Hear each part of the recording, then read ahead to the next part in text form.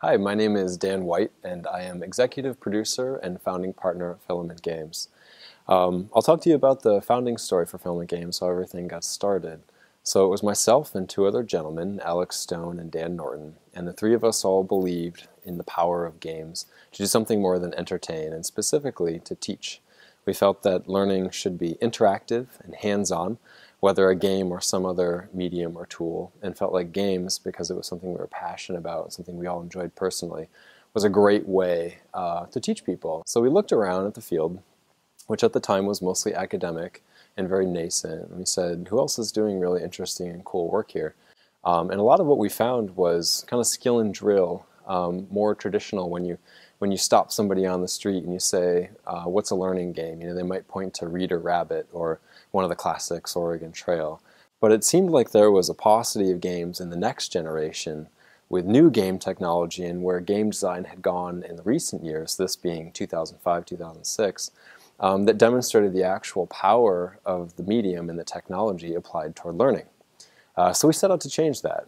Um, we founded Filament in 2005 and uh, uh, up and running in 2006 with our, with our first employees. And the way that got started is that we were all tinkering on a prototype for an ocean science game. It was a game that we were all personally passionate about and excited as uh, just a, an interest value project where you play the role of a researcher on an alien planet and you're going around and you're investigating this alien ecosystem and trying to understand the ecology of, uh, of the system and how all the animals and plants relate to each other. Um, and I took this, this prototype that we had built uh, to a conference in Washington, D.C. called the Serious Games Summit.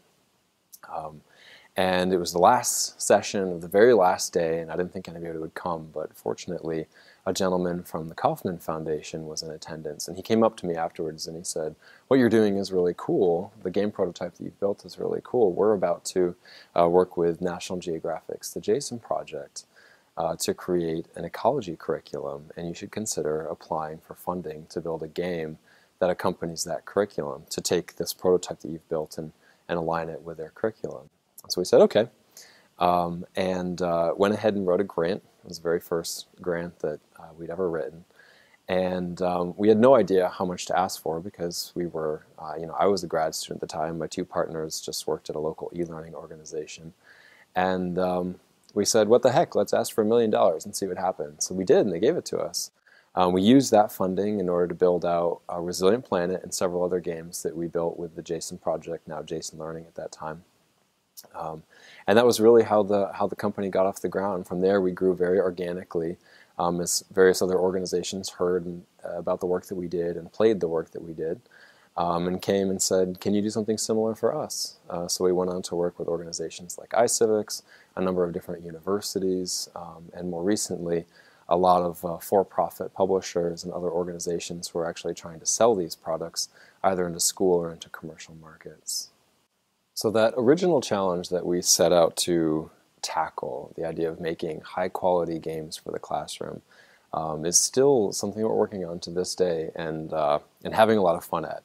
So um, there was a recent report that was put out by the Joan Ganz Cooney Center, and they surveyed a bunch of teachers, and what they found is that over half of teachers are using games on a regular basis in their classroom right now. Um, but of course the question is, what does that mean when they say they're using games? And part of what we're trying to do at Filament is uh, improve literacy around the topic of not only what is a game, but what is a good game for the classroom, for education, what's a learning game. Um, and there's a, there's a number of beliefs we have in this area. One is we feel like a good game is something that's systems-based. A good game um, plays on higher order thinking skills like collaboration, problem solving, creativity, and critical thinking.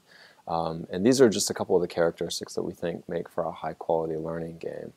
Um, it also has to be a real game. So going back to what I said before, um, a multiple choice series of multiple choice questions dressed up with nice production values, uh, we would not consider a game.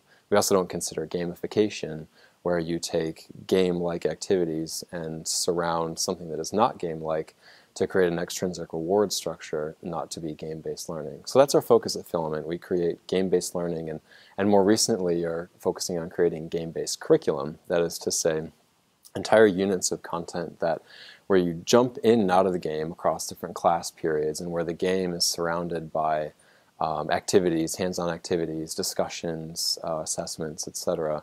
Um, because we very strongly believe that it is the kind of the, the game plus the ecosystem around the game that makes for the effective learning experience in school. That's not necessarily necessary in, in a home environment, but in a school environment we feel like uh, all the scaffolding around the game, that's the student's peers, the teacher, the curriculum, are all there to extend the experience and learning beyond what actually happens in the game in order to make for a more robust, holistic experience.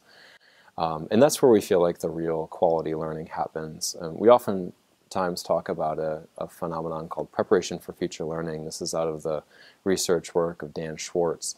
And he says that uh, if you position a game at the beginning of a learning experience and then go on to uh, uh, to explore the topic through other materials, whether it's a lecture or reading, um, the students' uh, understanding of that concept area and the content within the game um, is going to be drastically higher.